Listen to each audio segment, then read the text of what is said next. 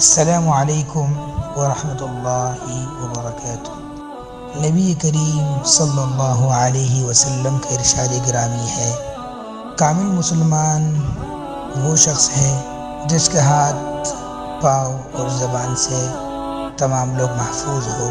یعنی ہمارا اسلام اس وقت کامل ہوتا ہے جب ہمارے ہاتھوں، زبان، افعال رکعت ہمارے کریکٹر کردار سے دیگر لوگ محفوظ رہے۔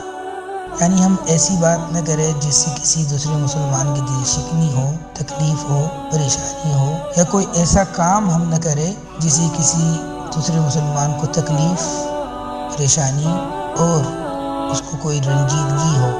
اسی طرح ہم کوئی ایسا بول نہ بولیں جس بول کی وجہ سے کسی مسلمان کا دل ٹوٹے۔ ہم کوئی ایسی بات نہ کریں جس سے کسی کو تکلیف ہو۔ ہم کوئی ایسی حرکت نہ کرے جس سے کسی دوسرے کو تکلیف ہو۔ ہم کوئی ایسی بات نہ لکھے جسے پڑھ کر کسی دوسرے مسلمان کو تکلیف ہو۔ ہمارا ایمان اور ہمارا اسلام تبھی کامل اور مکمل ہوگا جب ہماری زبان، ہاتھ اور دیگر افعال و حرکات سے دوسرے لوگ بھی محفوظ ہوں۔ نبی کریم صلی اللہ علیہ وسلم فرماتے ہیں المسلم منسلم المسلمون من لسانه ویده کہ کامل مسلمان وہ ہے جس کے ہاتھ زبان سے دوسرے لوگ محفوظ ہو۔